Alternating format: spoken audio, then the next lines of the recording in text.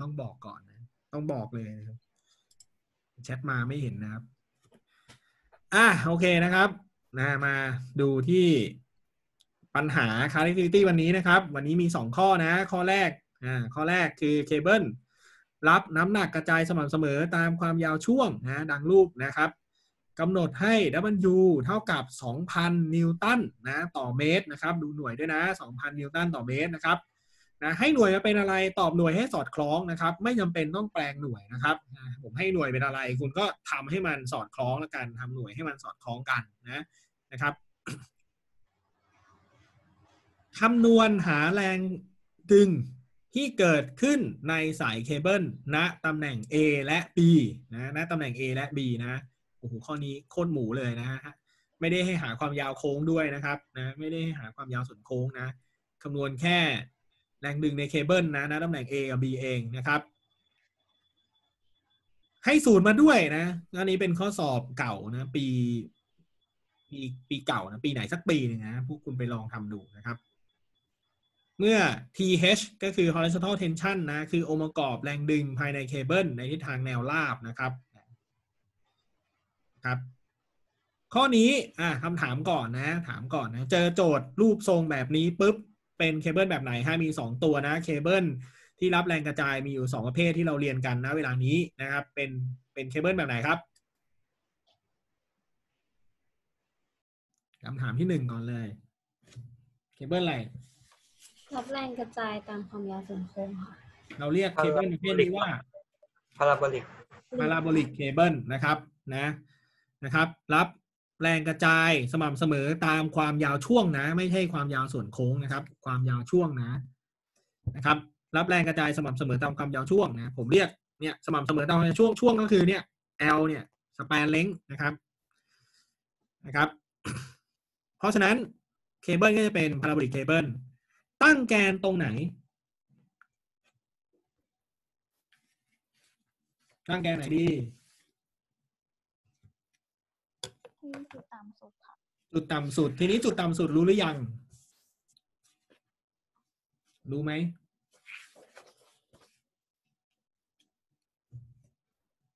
รู้ไหมครับ รู้จุดต่ำสุดไหมรู้แค่แกน y อะหืมรู้แค่ y รู้แค่ y y แม่งศูนย์แน่ๆอ่า นะ ไม่รู้ ไม่รู้ทำไง ไม่รู้ก็สมมุติ โอเคไหม ไม่รู้ไม่ต้องตื่นเต้นนะนะครับ ไม่รู้ก็สมมุตินะครับ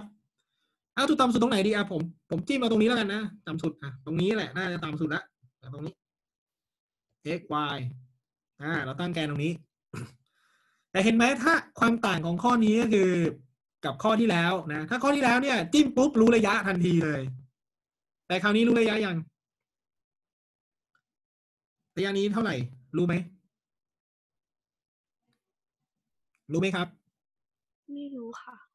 ไม่รู้ ไม่รู้ทำไง เดา จริงไหมไม่รู้ก็เดา นะ ไม่รู้ก็เดาเลย นะเดาให้เป็นตัวแปรสักตัวแปรหนึ่งเอาเป็นอะไรดี ชอบชอบตัวแปรอะไร เอาเป็นความยาว A แล้วกันนะ เอาเอครับจะได้เกรดเออืม นะเอา A ได้ได้เกรด A นะโอเค อันนี้เป็นนิมิตหมายที่ดีนะอันนี้ A ถ้าตรงนี้ A แล้ว ตัวนี้เท่าไหร่ฮะระยะนี้จะเท่าไหร่ครับสี่สิบลบ A ค่ะ A ค่ะสี่สิบลบ A เห็นไหมมันมีขั้นตอนเพิ่มขึ้นมาแค่ตรงนี้เองนะไอ้นี่ A ตัวนี้ก็สี่สิบลบ A ก็แค่นั้นเอง โอเคไหมเพ ราะฉะนั้นอะกลับมาดูสมการพาราโบลาของเราดีกว่านะสมการพาราโบลาเอา concept เป็นหลักนะ concept เป็นหลักณเวลานี้ที่ C อ่าจุด C นะผมถามก่อนนะอ่าที่จุด C นะถามคำถามเดิมๆนะที่จุด C เอาคอ r d ิเนตมาคอ r d ิเนตเท่าไหร่ ที่จุด C อย่าตอบนาน จุด C คอ r d ิเนตเท่าไหร่ครับเอศูนย์ค่ะศูนย์ศูนย์ค่ะศูนย์ศูนย์ครับ ไม่ใช่ A ศูนย์ครับศูนย์ศูนย์ เอยังไม่ศูนย์เอเอยังไม่ศูนย์เอศูนย์นี่พวกคุณศูนย์แน่นะนะอ้าวที่จุด C คือโคดิเนตศูนย์ศูนย์นะที่จุด C โคดิเนตศูนย์ศูนย์อ้าวถามต่อนะ ที่จุด B โคดิเนตเท่าไหร่อ้าว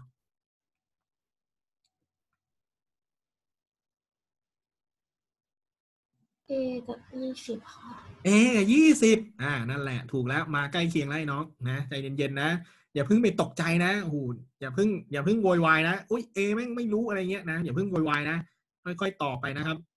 แล้วโอ้โหมาจุด A อะจุด A จุด A ใหญ่จุด A ใหญ่คุยเนตเป็นอะไรฮะสี่สิบลบเอกับสี่สิบค่ะค่ะสี่สิบนะเอาเอาดีๆ เอาอีกทีดิลบสี่สิบลบเอกับสี่สิบค่ะ โอเคนะ ต้องลบสี่สิบลบ a นะจ๊ะ เพราะว่ามันอยู่ด้านลบ สี่สิบลบ a นะ กับสี่สิบโอเคอะถูกต้องนะนะครับอะเพราะฉะนั้นนะครับอะมาดูสมการของเรานะ y เท่ากับอะไรนะ w x square ส่วนด้วยสอง th ติดอนุอะไรบ้างวันนี้อะ w รู้ยัง w รู้ยังครับ รู้แล้ว รู้แล้วไม่รู้แล้วนะ ติดอะไรเนี่ย ติด th โอเคไหมติด th ใช่ปะติด th นะแล้วมันอยู่รู้แล้วติด th เอาจุดไหนมาเป็นคำมาเป็น เราจะหา th เนี่ยใช้จุดไหนดีมีสามจุด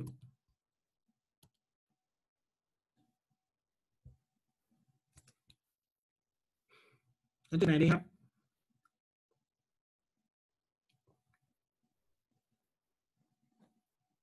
สตาร์ทเลย จุดสี่เหรอคะเอาจุดอะไรฮะเอาจุด C อะครับ จุด C เกิดอะไรขึ้นศูนย์ศูนย์ศูนย์จุดทำเลยนะเอาจุด C นี้แบบว่าอุ้ยทำไมศูนย์วะนะจุดบีได้ไหมคะอ่า จุด B อ่าสมมติเอาจุด B นะอ่าดูนะ จุด B อ่าจุด B ก่อน นะ จุด B ได้อะไรครับอ่าเขียนลงไปในสมการนะได้อะไรฮะยี่สิบเนาะ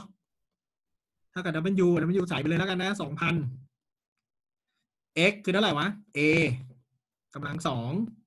เนาะส่วนด้วยสอง ph ตุ้งแนว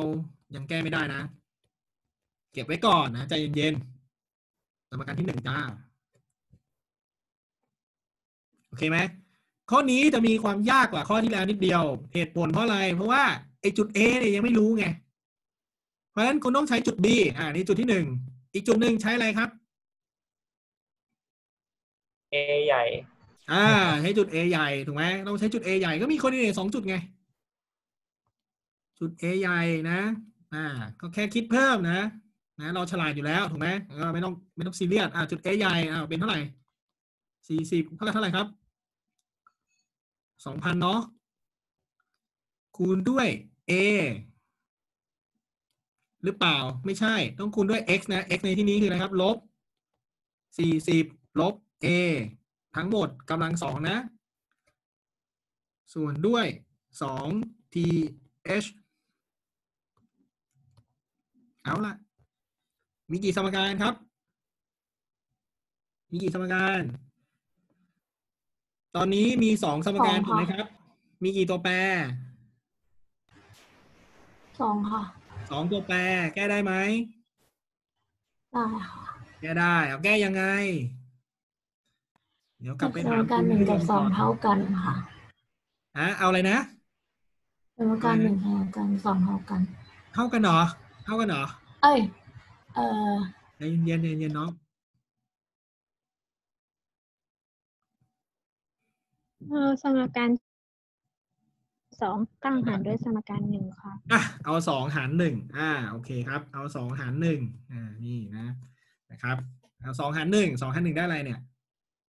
เอาฝั่งซ้ายก่อนฝั่งซ้าย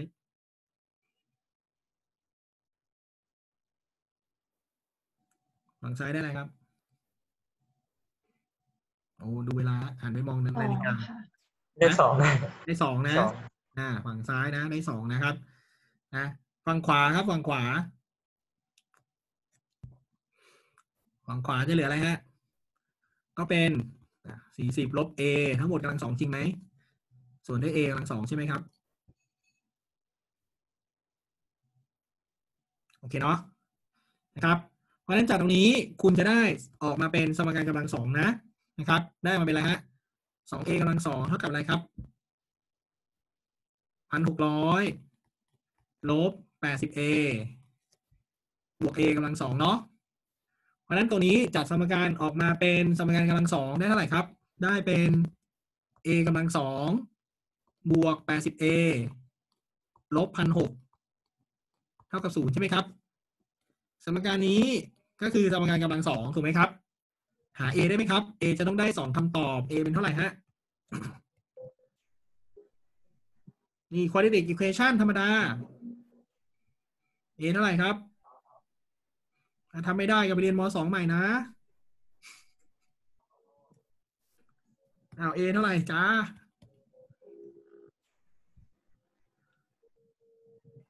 a เท่าไหร่ a เท่าไหร่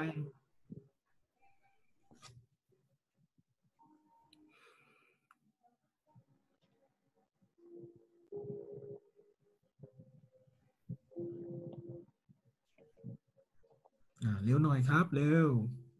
สามร้อยสามสิบหกจุดหกครับเฮ้ยจริงเหรอเอาพี่ดีก็ใจเย็นๆไอ้น้องนะถ้าถ้าคำนวณผิด ผิดเนี่ยอาจจะต้องกลับไปรีเช็คหน่อยนะครับสี่สิบไหมคะเอเท่ากับลบสี่สิบเฮ้ย จริงเหรอ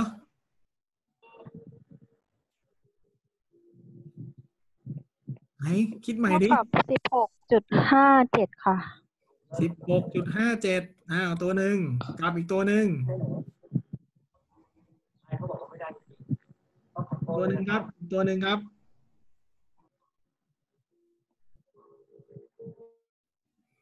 ต้องได้คำตอบสองตัวถูกปะแม่พวกคุณ อะไรเนี่ย สมการกำลังสองลืมแล้วเหรอ a เท่าไหร่เนี่ย ลบ b บวกลบ square root b กำลังสองลบ 4ac ส่วนด้วย 2a อ้าวเวละ a กับ a นะ งง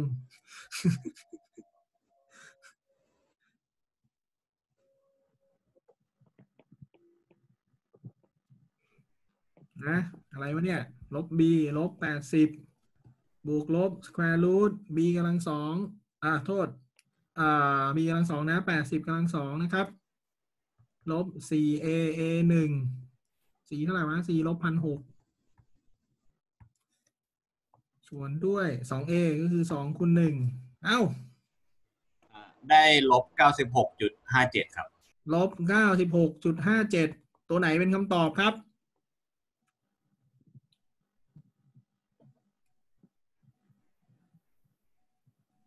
A มีสองตัว เอาตัวไหนเป็นคำตอบครับ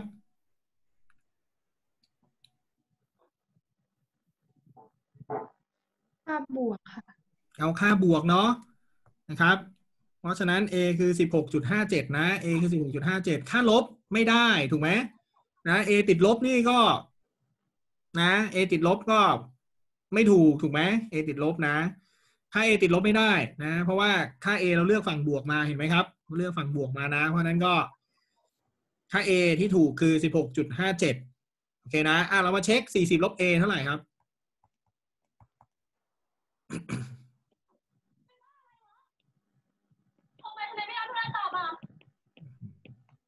40 ลบ A เท่าไหร่ครับยี่สิบสามจุดสี่สามค่ะ ยี่สิบสามจุดสี่เพราะฉะนั้นได้ตำแหน่งหรือยังตกลงได้ตำแหน่งหรือยังครับ ได้แล้วนะตำแหน่งนะตำแหน่งได้แล้วนะนะครับ เห็นไหมเนี่ยคีย์เวิร์ดของตัวนี้อยู่ที่ตรงนี้เองอยู่ที่การหาตำแหน่งเขานะครับ เพราะฉะนั้น A ก็คือเท่าไหร่ฮะสิบหกจุดห้าเจ็ดนะ ส่วนอันนี้ก็คือยี่สิบสามจุดสี่สามโอเคนะครับยี่สิบสามจุดสี่สามรู้ระยะ แล้วเทนชันก็จะหาได้ โอเคนะเทนชันที่ A กับเทนชันที่ B จะหาได้ ใครเยอะกว่ากันคุณคิดว่าใครเยอะกว่ากัน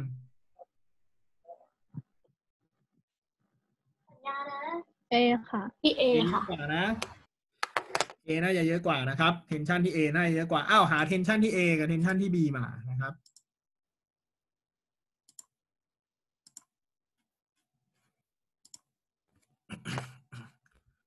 ข้อนี้หาแค่เทนชันนะหาทีที่ A กับทีที่ B มานะครับ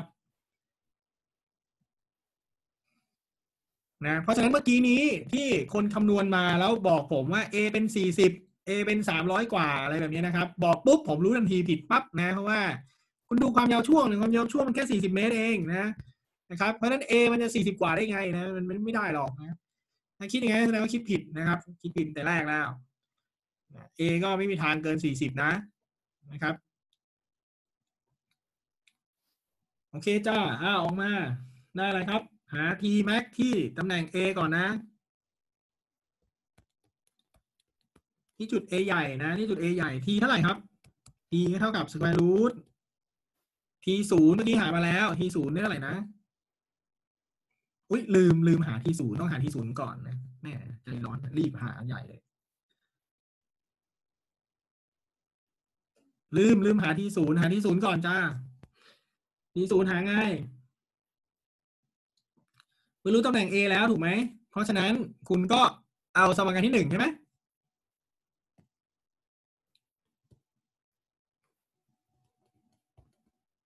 จากสมการที่หนึ่งเราได้อะไรครับยี่สิบเท่ากับสองพันนะคูณสิบหกจุดห้าเจ็ดสแควร์ส่วนด้วยสอง th โอเคนะเพราะฉะนั้นนี้หา th มาก่อนครับ th ได้เท่าไหร่ครับหนึ่งหนึ่งสามพันเจ็ดร้อยยี่สิบแปดจุดสองสี่ค่ะหนึ่งสามเจ็ดสองหนึ่งสามเจ็ดสองแปดเหรอสามสามเจ็ดสองแปดจุดสองสี่ใช่ไหมค่ะโอเคอะโอเคนะ ตามนี้นะครับ ได้ th มาเท่านี้ เพราะฉะนั้น t ที่ตำแหน่ง a คือเท่าไหร่ฮะ t square root th กำลังสองบวกด้วย wx นะก็คือ x ที่ a นะกำลังสองซึ่งในที่นี้ก็คืออะไรฮะ th คือหนึ่งสามเจ็ดสองแปดจุดสองสี่กำลังสองบวกด้วย w คือสองพันเนาะนะครับ w คือสองพันคูณ x x ในที่นี้คือยี่สิบสามจุดสี่สาม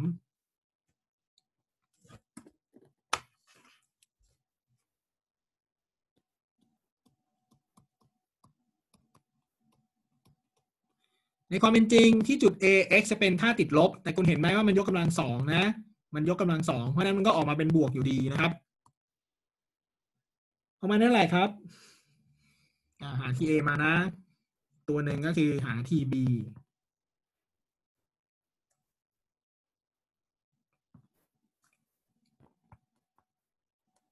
TB ทำเหมือนกันนะ ก็เป็น square root ของหนึ่งสาม เจ็ดสองแปดจุดสองสี่สแควร์บวกด้วย TB คือสองพันคูณอะไรฮะ ถ้า TB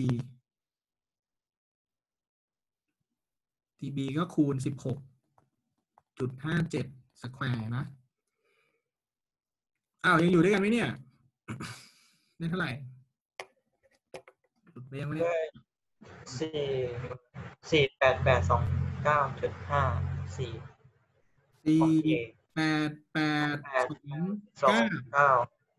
จุดห้าสี่อะไรเป็นนิวตันโอเคเดตัน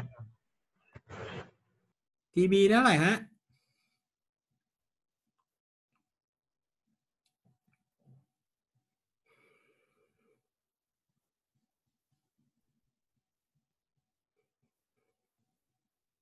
TB ได้เท่าไหร่ครับ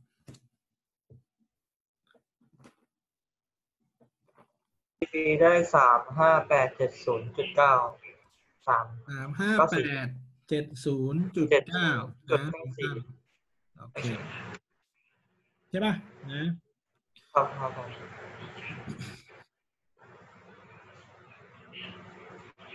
นะครับ โอเคนะ นี่ก็เป็นคำตอบนะครับ ของข้อนี้นะนะครับ ยากไหมถ้าคุณเข้าใจวิธีการนะ นะครับ คุณก็จะรู้นะโปรเซสนะครับ วิธีการเคเบิลนะ ก็จะตรงไปตรงมาแบบนี้